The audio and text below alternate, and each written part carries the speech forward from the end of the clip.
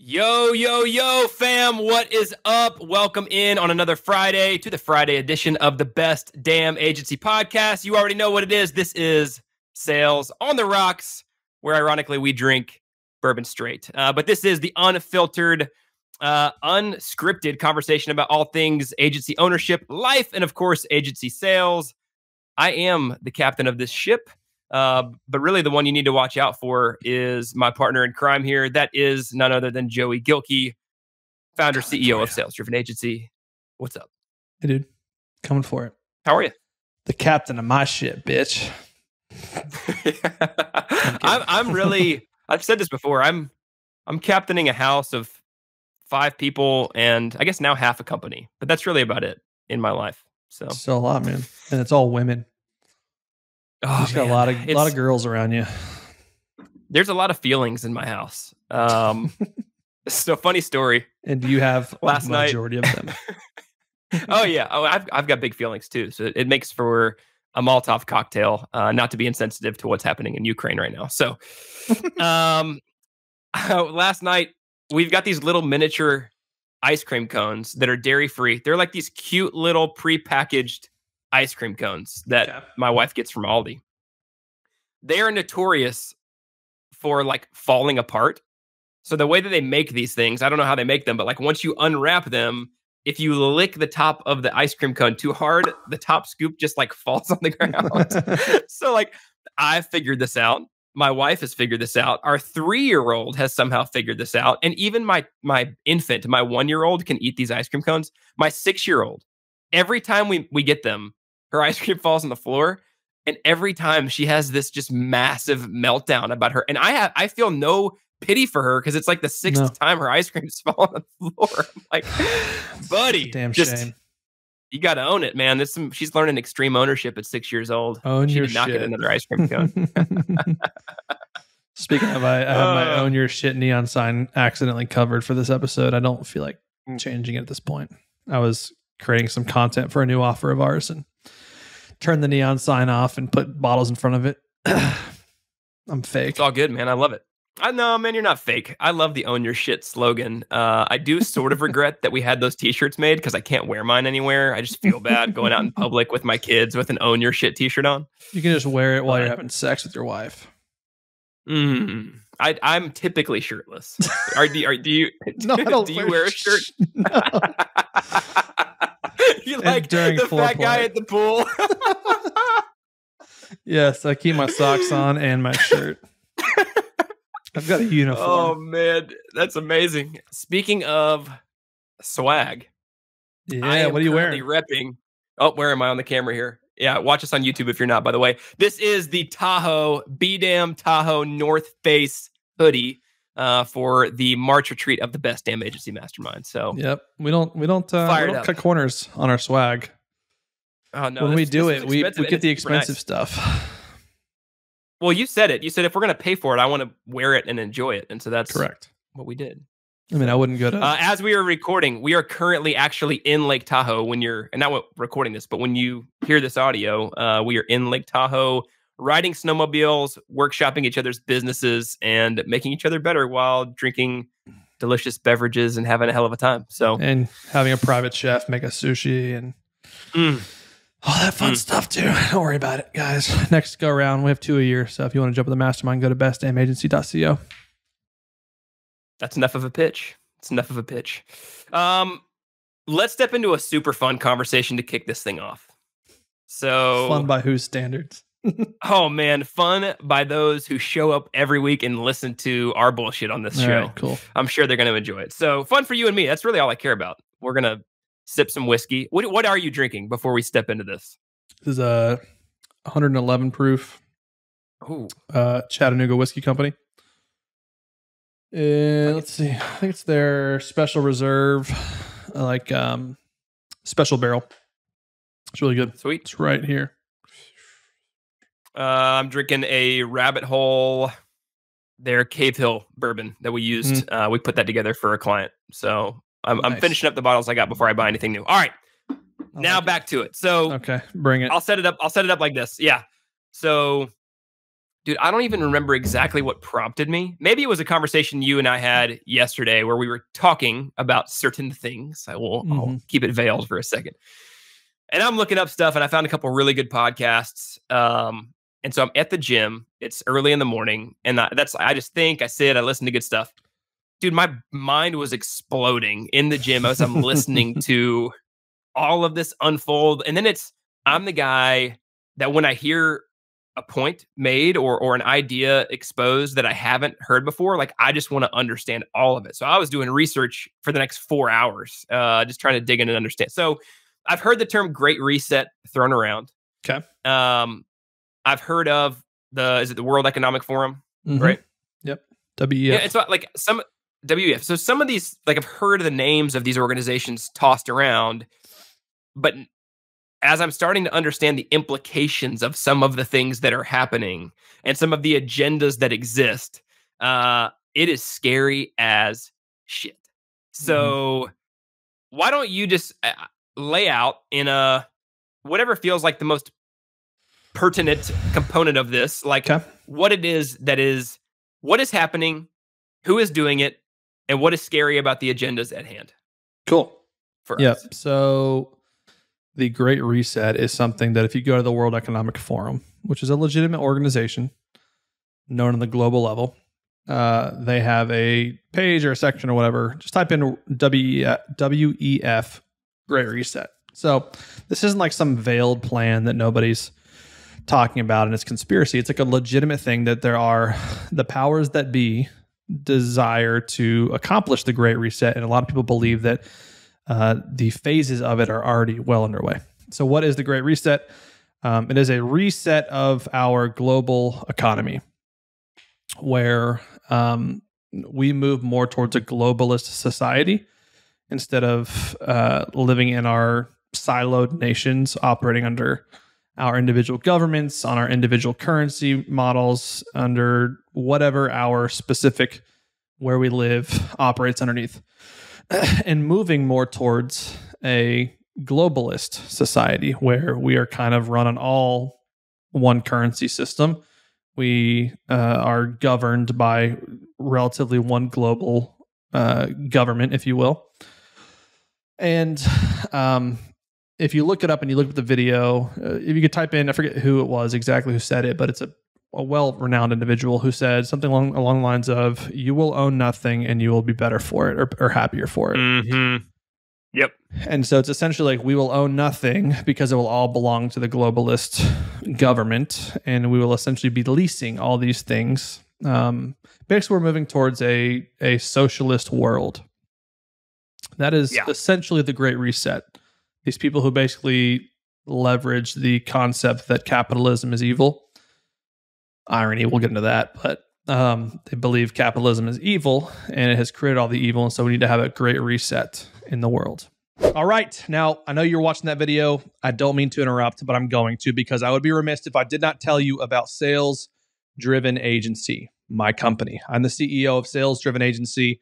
We work specifically with digital marketing agencies to build out the sales operation. What is the sales operation, you ask? Well, in order for you to become a predictable, sustainable, scalable agency, it has to come from having a well oiled sales operation, which is sales processes, sales systems and frameworks. How do we get repeatable outcomes? Salespeople. How do you go find the salespeople? How do you hire them? How do you train them? How do you manage them when they do start? How do you set them up for success? What does enabling the sales team look like? How do you build out the tech stack? What's the CRM and sales engagement and proposals meeting structure, scripts, templates. What do those things look like? Well, you don't have to figure those things out because you likely will never be able to. That's why we exist. Sales driven agency. We architect your sales processes. We build out your tech stack. We hire and train your salespeople for you. We will recruit them. We will hunt them. We will even build the compensation plan for you. We will build the training to make sure they're successful. We will train you on how to manage them once we're gone. And on top of that, we will guarantee our success a 5x minimum return on your investment in the six months we work together. And you will have an entire sales operation built for you. We build the car, we teach you to drive it, we hand you the keys and walk away. If you're interested in having your digital agency have the sales operation built for you so you can scale and grow, become predictable, sustainable, and scalable, go to www.salesdrivenagency.com. You can also click the link below. Again, salesdrivenagency.com. Go book a call or click the link below and book a call. Then, my name is Joey Gilkey. I'm going to send you back to the video. Hope you enjoy. Hope you'll also check us out at salesdrivenagency.com. So, I've actually heard so you've got the World Economic Forum. Klaus Schwab is who you were talking about. He's the one mm. that, like, if you go to the he he founded. Uh, I listened to his sort of like biography pieces of it uh, today. Actually, I, have done a lot of digging today, but founded this in uh, 1971, and it's really just been expanding it. And like the people that sit on the board of this thing, Bill Gates is a part of it. Yep. Um, like government leaders, uh, one of the organizers of the Fed, of the Treasury, like people with significant economic and global pull sit on the board of the World Economic Forum. And they're all aligned around these ideas of, like you said, globalization and, and equality and more of a centralized, uh, like distribution of power or system of distribution of power. Yeah. Um, that is that is like the official thing the great reset that is the the framework that is being uh i guess carried out in some ways but mm-hmm. on the mm-hmm. other side of of the equation you have people talking about this thing the great reset that is more like a grassroots um you know it, it's it's driven by like people who primarily just care for like social reform uh yeah. and it, it's like on the on the hind end of covid and lockdowns and all of the injustice that was front and center in mass media like people want people are starting to believe that a great reset, maybe in a more like localized fashion, should be something that the, the people, not the institutions, but the mm. people play a part in creating. Do you see the differentiation in those two things? Like, do you see that like those as two separate things, or do you feel like it's all still under the umbrella of this bigger overarching idea? I think it's both. I, okay. I do think it's both, and I think that the bigger overarching idea is influencing the grassroots localization of it. Okay, which is part of their plan. Mass adoption is going to happen at the grassroots level, even though it's controlled at a central point up top with the elites. That's my mm, theory. Okay. Right. So the thing that, that that comes to mind immediately for me on both sides, um, and I don't know if they would go so far as to say this, but it's just like Marxist ideology. Yeah, it's right? like that's what it is. It's yeah, it is what it is. Um, and, and so like I studied economics in college. I studied Marxism in college. Um, you know, I had to read Atlas Shrugged as like one of my entry level books into the, the economics program. So I, I did some like brushing up on Marx, Karl Marx actual teachings and ideologies, and this is what they wrote. Or he You've been busy uh, or one fuck. Of the, I, have been a nervous wreck. You're a so hole. one of the one of the tenets of his belief. So he believes that there is an elite class called the bourgeoisie, there's a working class called the proletariat. Eventually, the uh, unequal distribution of power will force, it will necessitate the working class to kind of facilitate this uprising um, and overthrow or, or push back against the elitist class. Mm. So I, I, read this as I was summing up his beliefs. Marxism assumes that the elites will employ social institutions, including government. So listen to this government, media, academia, organized religion, and banking and the financial systems as tools and weapons against the working class with the goal of maintaining their position of power and privilege. Okay, so so Marx, who is against capitalism, mm. says that capitalist leaders, business leaders with this unequal distribution of power will utilize all of these systems to keep the people like under their thumb. Yeah. But what I see happening in this move towards the great reset as the left the extreme left like rises up for you know and and and perpet- uh, uh, perpetrates big government it fights for big government i see them leveraging academia and institutions and the financial systems to media. Yeah, media. And, and they say that they're doing it in the name of like creating equality. But I really think like the outcome is going to be that the people that facilitate this great reset, they're going to be the people with, and there's the still going to be people without money. Yeah, correct. Yeah, you know the, so the, the same thing's going to happen again. The saying the the saying that Klaus Schwab said was you know you're going to own nothing, but you're going to have stuff, right? So you're going to have homes and whatever. I want you to think about real estate. Let's just to use it as, as an example. Who stands to gain from real estate? The landlord, Yeah.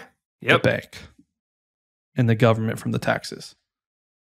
And so, similarly, they will own everything. You will own nothing. You will lease it from them. Who stands to gain from it? The landlord, which in this case, the landlord, Mm, the government, and the banking and financial institutions will all be owned by the same people. And so they benefit from all of it. Yeah. That's what we're Dude, moving so what towards. Wh- What I feel like my takeaway from this was so Abigail's. I'm great so glad you're on this train. Well, I, I've been on I this do for go down so these long.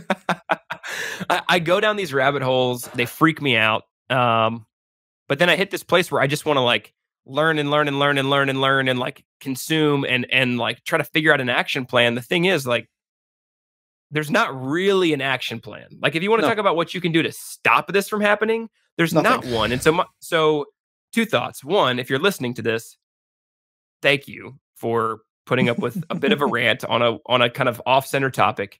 Um, but I think it's important to know and be informed. Like Joey said, this is happening.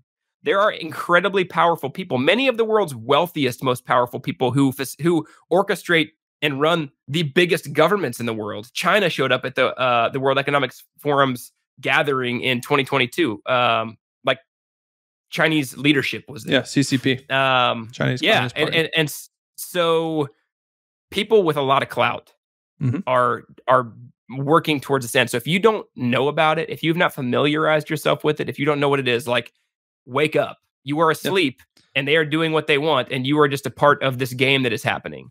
And it's Um, moving The second piece. Well, the second, my second thought and question to you, Joey, is like, what can you do other than Yeah. be informed? What What do you do with all this when you recognize that it's reality? Um, well, one is accept the inevitable, which is you can't. which is you- what? Which you you cannot make a difference in this at a at a macro level. Okay. Um, and then it's you've got to become proactive about how you're going to be reactive to it. That's really it. Like Hmm. you're not going to be proactive in the sense that you're going to beat it per se. It's how are you going to react to it by thinking about how you're going to react to it. So it's being proactive about how you're going to be reactive. Because we don't know exactly how it's going to play out. We don't know what the exact powers that be, who they are. I think there's a, a, lot. We talked about this yesterday. I think there's a lot of people, different groups who are, they're all kind of on the same interstate, but they've all got different lanes and different exits. And so they're okay with pushing hmm. the traffic that direction but they've all got different end goals. So they're still technically fighting against each other, but in the na- it's basically the my enemy, the enemy of my enemy is my friend. Um, Mhm. like Josh said yesterday, and so I think it's important to, to realize is that there's a, there's a lot of pieces moving. You can't do anything about it unless you become some uh, global elitist and you want to infiltrate this group. More power to you. I don't know how to make a billion dollars personally.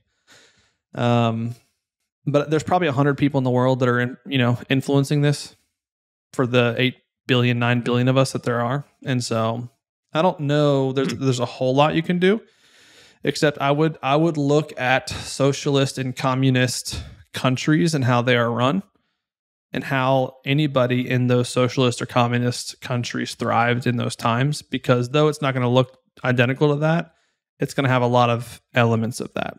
If you look at any socialist country or communist, let's take Cuba, North Korea, most of China, like there's the elites who live well and everybody else is poor. Hmm. So Yeah, I think in now for that? addition, so so the casualties in all of this, to me, it's uh, it is the Republic of the United States, the democracy upon which we were founded, and the freedoms that again ha- have really been the, what saturated what our country's been for for 300 years 200 and however well, I would actually argue and years. say we started as a republic, we became a democracy, and we're leading towards a socialist society. that's what I, yeah and, and i agree with Right, that too so republic, I think- think the republic has already fallen. Right, the republic is ruled by the people, I think a democracy is ruled by the leaders that the people so called put into office. And then socialism is just r- ruled by the elites. Anyways, keep going. No, you're good. I, so we're here to talk about sales, and we're going to talk about sales. And no, I'm not one of the 100 people that's going to have a massive impact on how this plays yep. out. But I feel like it's one of those. You, you and I talked about this two years ago. I've been happy to live my life, stay in my lane, and put my head in the sand when it comes to most things, um, you know, geopolitical. Yep. This is one where you, you, I just don't think you can do that. Like you can mm-hmm. put your head in the sand, but when you pull it out, the world that you find around you is going to look a lot different than it did, and that's going to happen in the next ten to fifteen years. We're not talking about. Yeah, they're already making the like, chess moves. Yeah, yeah. I mean, Ukraine and, and, and Russia. And you don't think that there's a bigger agenda behind that? You don't you know, not to get super political, but like, fuck, that. I'm always political. Who cares? not to get what I always am. Uh, I mean, like the how the media has spun it instantly. How there's all the unifying stories that come to you know end up not being true. Like there's an agenda. So here's the other thing. So there's the the woke left, which are typically the ones who jump on with social justice movements. So look at Black Lives Matters or LGBTQ communities and rights and um, those types of of groups. When those people stop screaming from the rooftops about Black Lives Matter or LGBTQ, and they start screaming from the rooftops about we stand with Ukraine, Ukraine and all those kind of things, all the media and the powers behind the media are just weaponizing the woke left who are ignorant to these social causes. They're leveraging social things to move the needle for their agenda.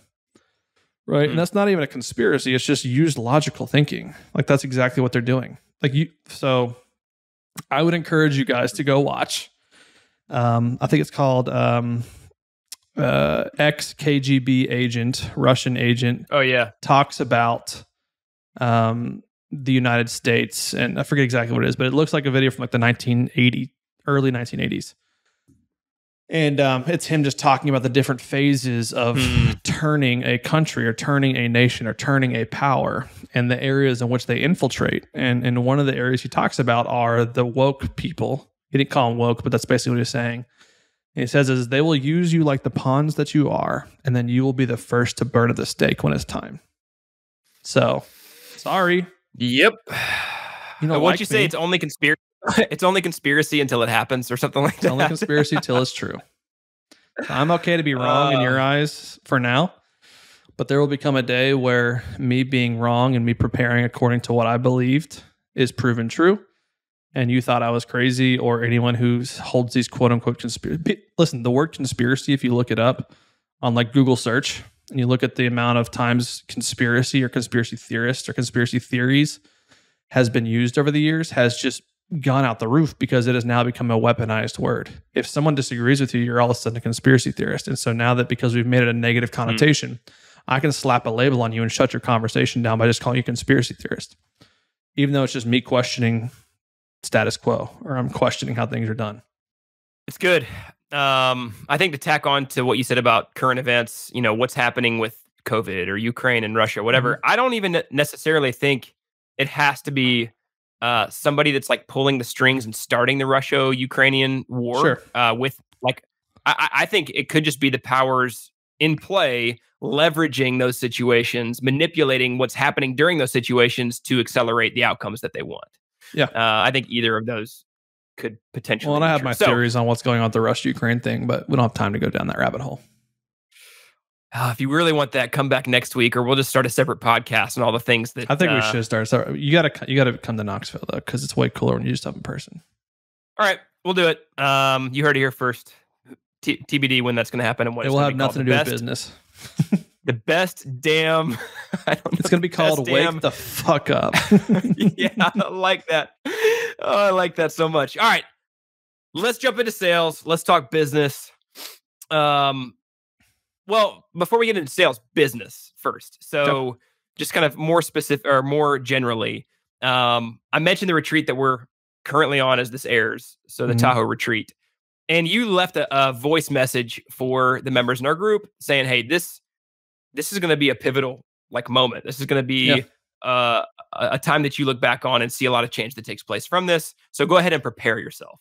And I was wondering for you, as somebody who's attended a bunch of things like this, I'm sure people listening have gone to retreats, they've gone to conventions, yeah. they've gone to summits, they've gone to all the things. Like, what does it mean to you to prep for and then effectively get the max value out of something like this? Yeah, well, I think that oftentimes the flip side of the coin is I think it's it's not uncommon that we go to masterminds or group coaching or events, conferences, whatever, and we just kind of go as a spectator and as a reactionist, like I'm going to come and just be reactive to whatever happens. Now, there's a level to that where it's like, hey, I have really low expectations, and so therefore I want to be surprised because it exceeded my pretty low bar to set. Where, but for me, like I'm a balls to the wall kind of guy. I'm going to tell you to set an extremely high bar. I'm still going to jump over that shit.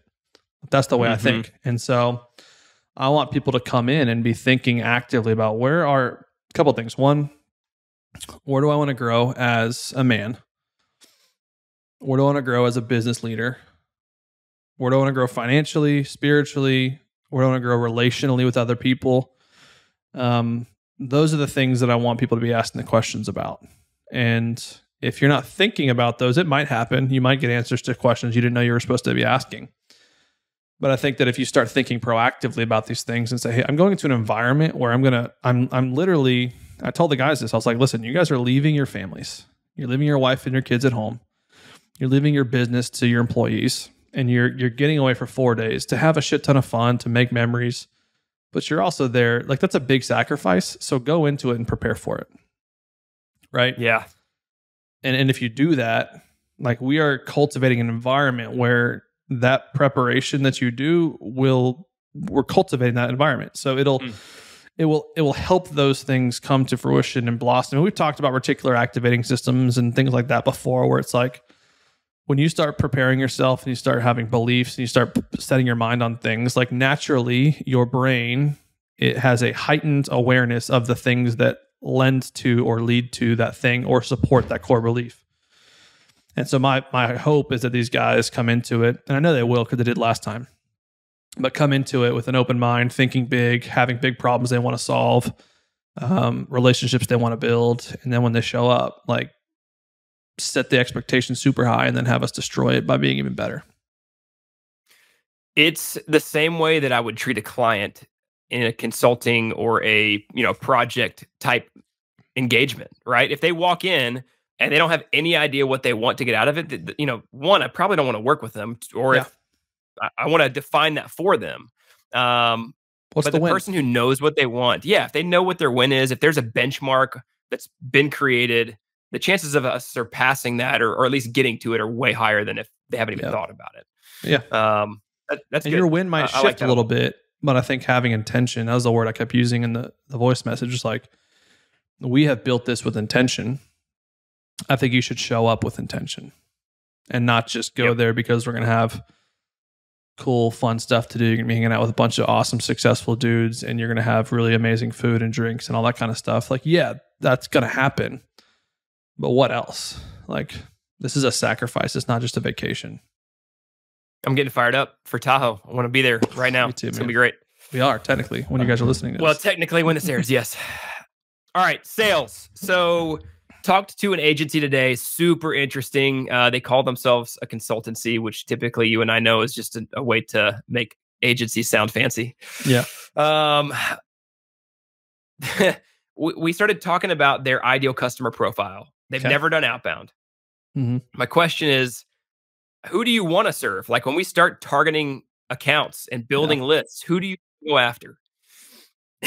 and this guy came back at me and he's like, well, let me just rattle off some names for you. Uh, he said Microsoft, Apple, NASDAQ. Facebook, uh, no, uh, Nvidia, the chip yeah. manufacturer, and and you know, so somebody else typed in there real quick, like, okay, so FANG, the FANG stocks is basically this guy's ideal customer profile. So he's what I love about this guy that I met is like he told me on the call he's hyper competitive.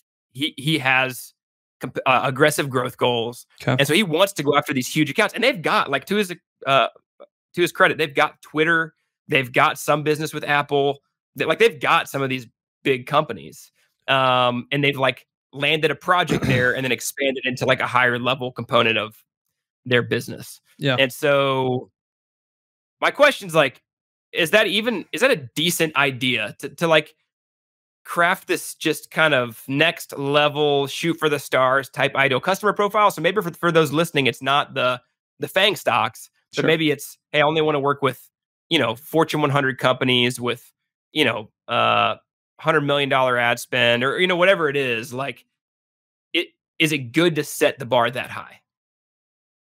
someone's got to work with them.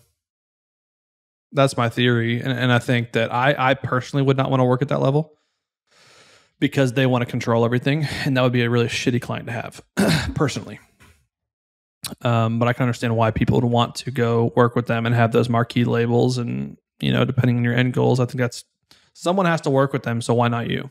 Um, if if that's what you truly believe, and you truly believe you can help them, and you've got proof that you can help them, like sure, I think it's okay to to shoot for that. They're just at the end of the day, the the strategy and campaign structuring might be different, but the principles are the same. I'm dealing with a human or humans inside of Apple who make Mhm. decisions to solve problems. I have a solution to solve that problem, not to deal with humans to convince them that we're the best fit to solve this problem with our solution. And so instead of, you know, but what I would say is, hey, you don't you're not aiming for Apple. You're aiming for Jim, the VP of social or VP of SEO Yeah. um, and all the people around him. And so I think that's how you have to just change your frame of mind is is go after the individuals in those companies, and, and you'll have to do a more. account- I mean, you'll you will have to do an account based approach. You're not going to get into those accounts by brute force necessarily, and so you really got this company's done a stand out. sorry. Go ahead. This company's done a really good job of, you know, getting that director level, EVP level contact, winning a module of business, and then expanding in. Like Yes. what I hear you saying is that's probably the best way to approach this. Mhm. Um, my my question then is: We've talked about um, account based sales. We've talked about standing out in the way that you run campaigns. I mean, i- is it the exact same thing, right? Like if you're if you're going after a hundred million dollar company and you're trying to attract the attention of their CMO and you're getting really creative in how you approach them to stand out from the crowd, like is it the same thing if you're going after the, the the head of social at a a FANG stock company? Yeah, I think what you do is you develop your company account list first. So, who are the accounts we want to work with? And then I think that you look internally at the positions that either lead the charge on the solution that you provide or those who facilitate those people. And so I think you have to now take an approach where I, I will always have a, a top down approach, right? Where it's, I'm going to start as high as humanly possible in the organization as it relates to the problem that I solve. Who is the CEO of the problem that we solve? Not the CEO of the company, that might be them, but who is the CEO of this particular problem? Um, and then from there, I make my decision on who I go after Mhm. first. I work them through my account based approach. Somewhere in the middle of that, I inject someone else into that process and I treat them as my my point of contact. Because what's going to happen is if you start at the top and you do get their attention and you realize they don't make the decision, they're going to pass you down to someone. The person that gets sent the opportunity from above them will take that meeting. Now, Yeah. but if you start from the bottom, it's a lot harder to climb the ladder of decision makers because the advice to take the meeting is coming from below you. And so you want to take more of a top of the pyramid down approach. But nonetheless, you should define who the who that peop who those people are and work through that process. Yeah, it's it's insightful. Uh, We might have mentioned this one other time on the podcast, but I think it's worth restating because um, even if you don't get a chance to have a high level conversation with the CMO, but then they send you to a marketing director or a head of a certain silo, and you can even just use their name, like, "Hey, Jim sent me to have a conversation with you," or said we need to set up a time to talk. It doesn't have to be that you had a, an hour long conversation with Jim. Just using his name in a conversation and getting the contact info from him or whatever, right? Like that's Yeah. that's going to build authority and trust and get you a meeting. So Well, and here's a badass Um, approach that, I've talked about. Um, I don't think I've actually talked about this in the. Maybe I have. It would have been one time, maybe where um, I was actually talking about to one of the guys in the mastermind with their approach is is have your like three key people in your account that you want to get in front of, and you want to work through top down. So let's just say you've got chief level or C level, VP level, director level as like your three that you're going to go after. We'll go after the C suite first, run them through a campaign. Um, you know, six to 13, six to 15 touch points, higher touch touch points. They fall at the bottom of that. Great. Move on to the VP. Same thing. Move on after that to the director. Let's just say hypothetically you get there all three of those people, you don't get any traction. Then a cool tactic is send an email to all three of them on the same email and say, Hey, Jim, Sally, and Rick, I've tried, I've worked my ass off to try to get a hold of one of you three. Here's what we do. I don't know which one of you three is the best person to talk to. you guys tell me. And maybe you can Good. like show like I've sent 14 emails, this many phone calls, sent you guys gifts and handwritten letters and connect on social. Like you could have these stats there. I'm at a loss for words at this point. I don't typically get this far. So I'm going to CC all three of you. You guys tell me who should I talk to. Yeah. You're going to, I mean, it's going to do well. It, It's killer. That's a killer, like wrap up the campaign, you know, pull the parachute if you get nothing else. Like a lot of times I'm sending like a last ditch effort email, but that one itself like is the tactic and it feels like that Mhm. would work really well. And you could, the funny thing is I you could love it. start it and end it that way. And you could say, hey, listen, I've got, you, you go, hey, hey, Jim, Sally, and Rick, uh, I'm about to go blitzkrieg bop on on you guys. I'm going to go after each one of you sequentially until I get an answer on who I'm supposed to talk to. So before I go through all that and I send this many emails, this many blah blah blah, this many that, Ooh, who I like do I that need too. to talk to? And then you they don't answer. You go through your whole thing where you go after all of them and you say, "Hey, I sent you an email back on February 12th trying to get a hold of you guys. I went through, I did as many touch points as I told you I'd do, email, LinkedIn, whatever. I'm still at a loss. I don't think this is a lost cause. I know we can help you guys. Who do I need to talk to? So you can almost sandwich your entire campaign strategy with your buyer personas on the front end and on the back end together, and then have campaigns Yeah. in the middle for each one of them individually. If we're talking 10 touch points per person, 30 touch points, I mean, we're looking at potentially like months of engagement just to get a meeting. That does not make sense if you're doing small deals. No, you can't. But I if mean, you're you working in the- have to be the- doing quarter million dollar, five hundred thousand dollar, million, which is why it applies to the scenario that I gave you, right? Because we're Yeah. talking about, I mean, it's, he, he was telling me today, like a lot of the deals they're landing are, you know, 100K a month, 200K a month Mhm. type deal. So there, there's money to be made, but getting the attention of a decision maker of those, you know, three potential key entry points Yeah. could take you. And the good thing is, you're not just going after Apple this quarter, Sure. right? It's I'm going to go after Apple, Facebook, Amazon, blah, blah, blah, all the way down the list. And so some are going to convert on your first email, some are going to convert on your 10th, some are not going to convert until your 43rd, right? And so I said email, it's any touch point or any, any, you know, uh, entry point. But uh, you should be doing this all year long and you should be recycling and doing circle back campaigns and trying it again, trying a different angle, trying something new, adding a little bit more, upping your your cost per acquisition threshold, what you're willing to pay to get this meeting. You can, I guarantee you, if you're if you're charging a million dollars for a service, like you could probably spend 10 grand on getting that account. Probably. that's, that seems to scale pretty well. If like back of the envelope numbers, mm-hmm. Yeah, I'll, could run I'll that- assume so. a hundred times over. Yeah. That's great. Okay. I don't want to sit here too long, but just thinking through this scenario where you've got a company that's wanting to go after a bunch of high profile companies. They they sell a really technical service that's not even worth explaining right now. Uh, more technical than most agencies that we work with. Mhm. Um, who do you hire? Like if you're hiring a sales rep to, to go be a part of this, I know you like we've talked a lot about how foot in the door becomes pivotal. They don't even really have like they sell so many different things from so many different directions, and that could be a whole nother question that we address Yeah. in this conversation. But who do you hire to For facilitate them this conversation? specifically, Yeah. someone who has Yeah. enterprise experience and you give them an assistant. Okay, That's what and, and what is that? What's that hire? Like, what do you expect them to pay I'm probably paying them 120 grand base salary plus commission? plus commission. Okay, That's what you got to do. I mean, if those are the accounts you want, you got to have somebody who's got the chops to get into them, who's willing to to work those, and who can actually nurture them when he gets in it. he or she. So, Okay. I mean, All maybe right. not 120. I mean, you can get away with maybe less, but why would you want to? You know, like if your if your deals are as big as you say they are, then 120 grand's nothing. Yeah. Yeah, it's worth it. The ROI is worth it. Um, let's go back to the foot in the door idea. Like they don't have one.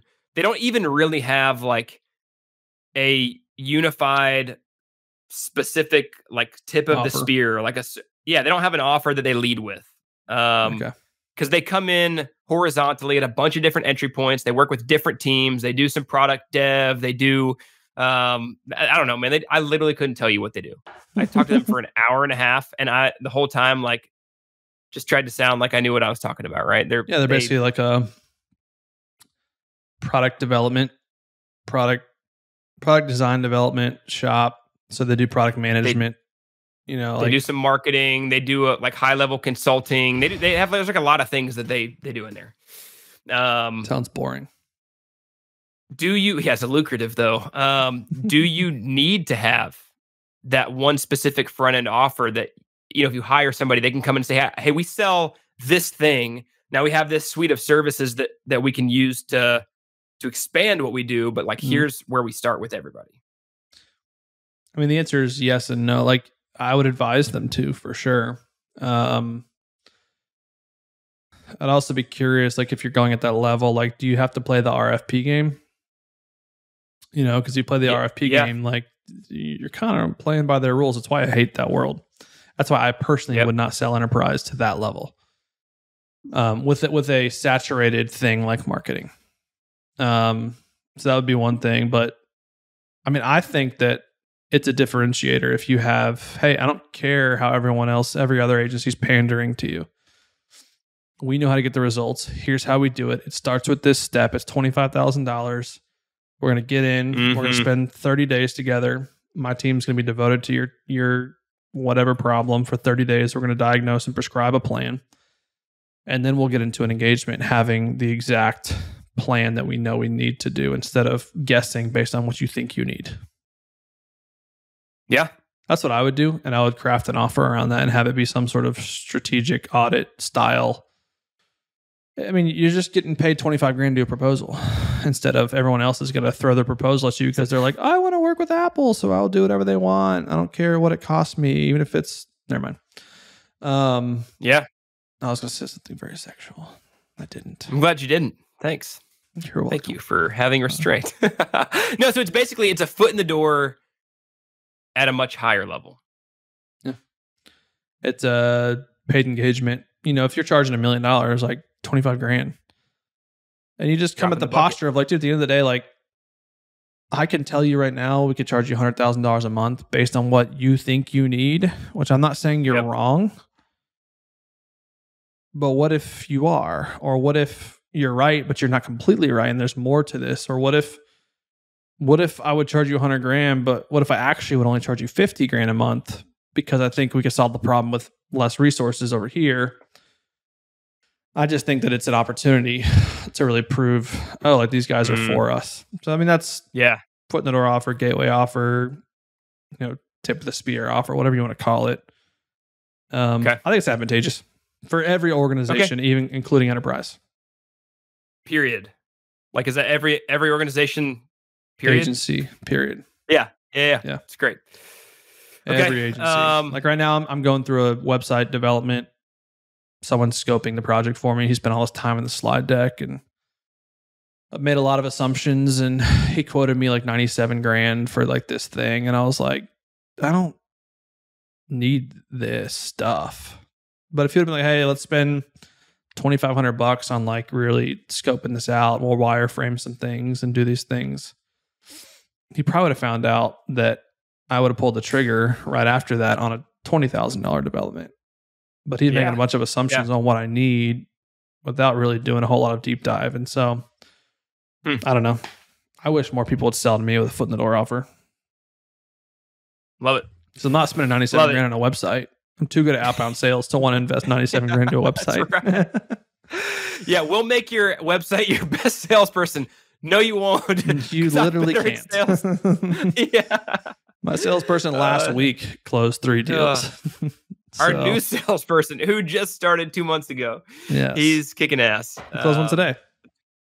That's great. I love it. Yep. He's also doing push-ups so you- with us. I know we're doing a push-up challenge. I gotta go get. I gotta get on it today. Today's been a weird day. I've been friggin' talking about Rabbit hole. great, great reset. Yeah. Um, you you are a sales like guy. You know a lot about this stuff, obviously, but you How I've dare seen you you, do it. assume my gender? you. I know I'm a terrible. I'm a person. sales Actually- them. dude. I say that all the time, and I catch myself now because culture has made me so aware. I'm like, really appreciate you guys, and I'm waiting for the. There eventually one day somebody will be like, "Fuck you."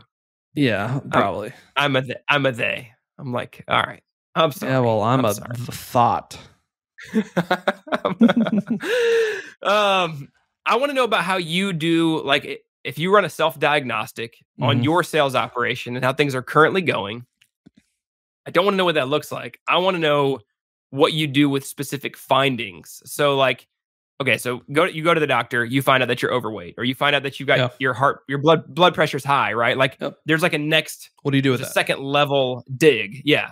Um, so a couple specifically, and I know we've talked about this recently. Like if your deal velocity slows down, so if you're Mhm. because you're on top of your numbers, if Yep. you know your deal velocity is slowing, what are the next few things that you are checking or or then going to fix? That's great. Because that is true. Ours, our deal velocity has lengthened currently, and our close rate on outbound has dropped slightly.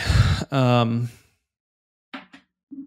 neither of which are concerning because the volume is really good, but um, those are things that I'm currently optimizing for. So, I, um, as it relates to the deal velocity, um, I think you need to have deal velocity for inbound and outbound because they're very different.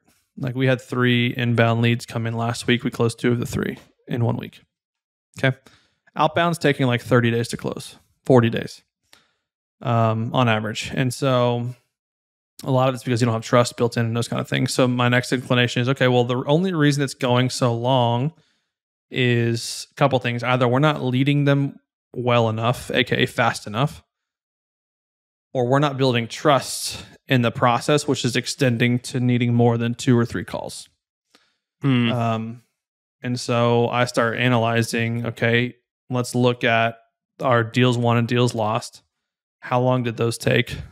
Um, and, I- and I look at, okay, well, this took four calls. Well, why did it take four calls? And I can go back and I can listen to the recordings on call number two, which is typically when I would want you to try to close it. Call number three max. And so I want to look at why couldn't we close? What questions were they asking? How could we have asked? How could we have answered those questions preemptively um, instead of waiting on on them to ask them on call three or four? Yeah. Or okay. maybe you're noticing uh, a new decision maker gets injected and call number three, and it's like, well, why didn't I get that decision maker on call number two after I found out about them on call number one? Right. So those are things that I'd be analyzing. Is I'd just be asking why, and so Yeah. those are the big things. I mean, I think you can look at, I mean, going back to the formula, ERG formula of pipeline times win rate times client value. What is, why is our pipeline less? Why is our win rate less? Why are we not charging as much? And that could be your macro level. Um, and then you have all the more micro levels of average deal size and retention and uh, win rate. You could talk about like look at each individual step in your pipeline. Like why are people getting hung up here? You know, why are people spending 14 days in the commitment meeting category? Why are we not moving them to to closing actions or contract and payment section? So I think it's starting macro, looking at the big big macro issues, and then dialing in from there of like, okay, what are the issues that are at hand? Why is it taking so long, or why are we closing less deals? Yeah. Um, Yep. Uh, so having actual data that is clean, that is easily accessible, and that you can use to measure these things. That's what I hear you saying is like, all right, I'm going to zoom back out. I'm going to measure the macro. And then based on what I find, because I know that these numbers are correct, mhm. then I can double click on, you know, the next level. I can get into the micro. I can start to talk about trust. I can look at conversations. I can listen to Yeah. call recordings, you know, whatever that next Yeah. step is. 100%. Um, I I think a lot of people's problems are they're, they don't know what to measure. Hopefully, if you've been listening to us for a while, you now know what to measure. Um, maybe they haven't built out systems that are accurately capturing data, so they have real time actionable data. Um, but I like what you said. Zoom out, do an assessment, double click. That's great. Yep. Su- super helpful. Um, let's end with a couple questions about like mindset or like self improvement. Nice. Yeah. And then let me go close the deal at four. I know you got a call coming up. So, well, then we'll, we'll keep it to this one. Dude, I, the rabbit hole that I just went down, I'm like, there are a billion things that I could learn about all of this. and then there's a billion other things that I could learn about other things, right? Like there's just, dude, you talk about crypto and like I said, yep. uh, geopolitical like landscape and just like history and business and parenting and life and what like there's just a thousand things to know. Yep. So my first question is how do you cut out the noise? Like I know you do a really good job of spending your time in places that are important for, for the mm-hmm. most part. Yeah. Um, what have you done that's made that a reality for you? Um, well, I think it's it's there are a bunch of things you can learn. So something I've done semi recently is I have taken everything off my phone. Literally, if you look at my phone right now, my home screen with no pages, this is the only page I have now. And it's got clock, calendar, weather, maps, internet, Spotify, notes, email, text, telegram.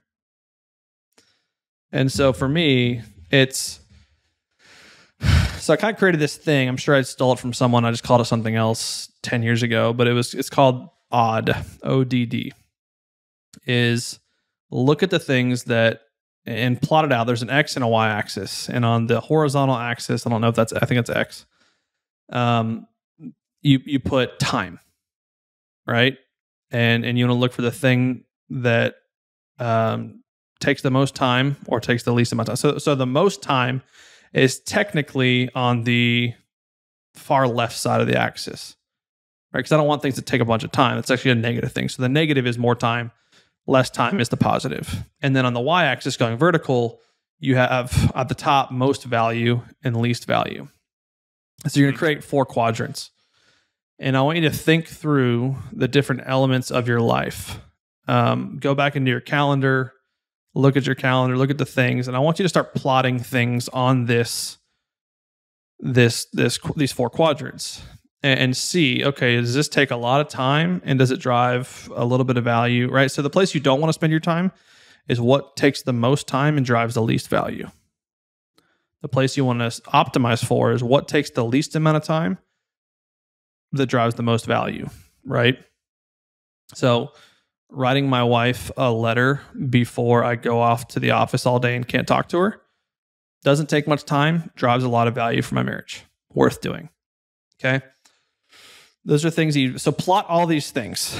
And then uh, this is where odd, um, uh, odd kind of gets pulled into this. So O stands for optimize, D stands for delegate, the second D stands for delete. So you want to look at everything in here. Basically, if it's in that bottom left quadrant of t- high time, low value, then I want to delete it. Not worth it. Social media, getting sucked down, watching Instagram stories, you know, whatever your thing might be. Um, if it's in the the top right category, so the goal is this: either you want to move something to the top right quadrant or start optimizing it towards that. How can you optimize this thing? So I found out a long time ago I don't like to do um, lunches for networking. Yeah. And so what I'd rather do is invite someone to my office where I make coffee and we sit down for a 30 minute coffee. I don't have to do the 15 minute drive, the hour long lunch, the 15 minute drive back. It's an hour and a half. That's a great, great example. So it's an example of optimizing for something that I find is important. And so I've made it valuable. It's still high value, but now it's less time. So it's moving towards that top right quadrant. Um, delegate. Dude, I'm gonna sit down. And, oh, sorry, I don't want to cut you off. I'm gonna do this tonight, and yeah. it's gonna it's gonna shit on my parade. Is what it's gonna do. Because I yeah, but it's good for you. It's super good for you. And then to wrap it up, kind of. So then the delegate part is what of this can I delegate to someone else? right? Is it something that's necessary but not super important? Meaning it, you know, it it takes a lot of time, but it's you know, it, there's a it's got mediocre value, but it's a necessary thing that I've got to do. Well, then is there things of are there elements of it, or can I entirely delegate this entire thing? And so either you plot this on the map, you cross out the things you got to delete, you do an hmm. arrow up and to the right that you got to optimize, and you do a circle around things you can delegate. And you do that on a regular basis. All right. I do that. I've been doing that for like 10 years. I do it probably once or twice a year, but it's kind of a way that, and one thing that I, I've tried before too is going back on your calendar and red, yellow, green. Go back to all the calendar events I had on my calendar. If it was worth yep. doing and valuable, turn it green. If it was, eh, turn it yellow. If it was a waste of my damn time, turn it red. And then I now have a color coordinated calendar that tells me the things that I shouldn't schedule in the future. That's so good, man. I was not expecting an entire framework, but uh, thanks there for sharing is. that. I know you got to go close a deal. I want to give you 60 seconds to prepare for this call, so we'll, we'll jump Thank off you. here. But as always, appreciate this. As always, appreciate you listening. If you're still with us, do all the things that make us feel warm and fuzzy. Rate, review, subscribe. If you're just listening, check us out on YouTube. Growing every day. One of these days, we'll have a thousand subscribers. It won't be too long from now. It'll be great. What's so uh, this view count is super high, even though our subscribers are still only the 200s. It's all right. We'll get there. We'll get there. This has been another Friday edition of the Sales on the Rocks podcast. I am in Tahoe, so I love you, but I'm not thinking about you. Uh, we'll see you here next Friday. Cheers. See you guys later.